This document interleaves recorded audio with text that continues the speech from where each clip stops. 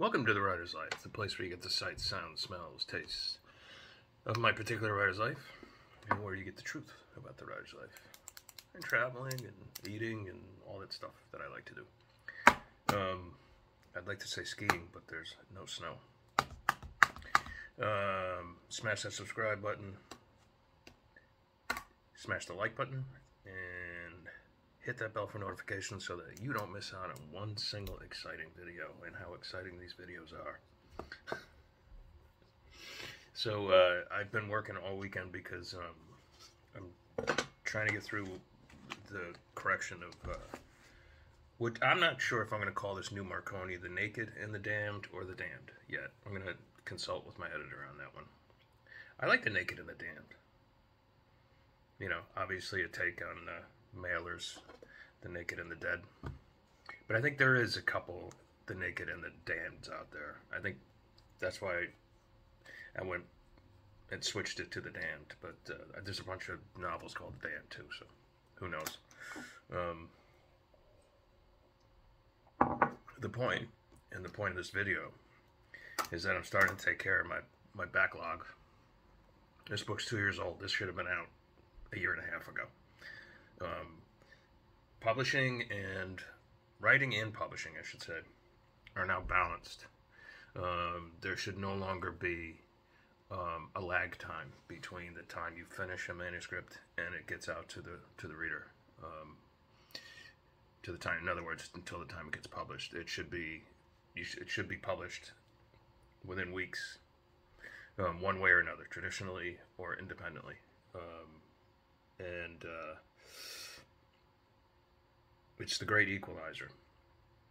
And by having created, um, I don't know, like 20 manuscripts and just let them sit there, you know, like, it, it, I'm not taking advantage of that. So, um, like I've been saying, 2022, we're going to have at least a, a, novel a month come out, and that includes a couple of traditional novels, traditionally published novels as well.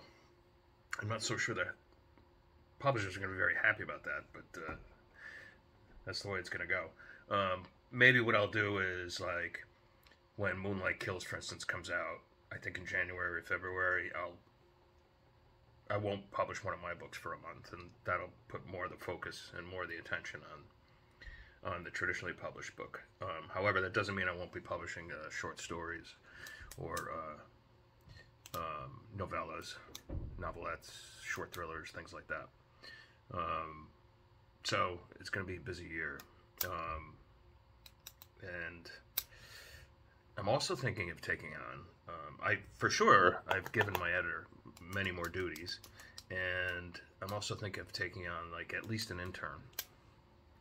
Um, and if not an intern, then someone who can help me maybe like uh, for a few hours a day, that type of thing. So um, I'm growing my business, you could say. Um, but because there's an awful lot of like just stuff like marketing and stuff I got to do that just would I'd be better off writing, you know, if I had that time to myself. So I eventually got to bite the bullet and uh, bring in some some other other employees to uh, help me out. Uh, there's just too much to do now. Um, you know, I guess you could say, in essence, I need an assistant, um, and it's time I had one. I guess. I don't know how that's going to work. I guess I'll have to interview people and whatever, and we'll see how it goes. Um, but uh, you know, I'm at that stage. So anyway, I hope you're having a wonderful Sunday. Listen, I also wanted to mention my heart goes out to all those people in, in uh, Kentucky who suffered that uh, brutal tornado. Um, I think whole towns were lost, just wiped off the map. Just terrible. Um, death toll is terrible. Uh, anyway.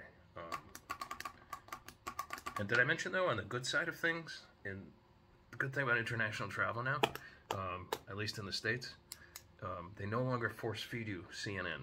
So to me, that's a victory. you know? Anyway, I had to get that in there.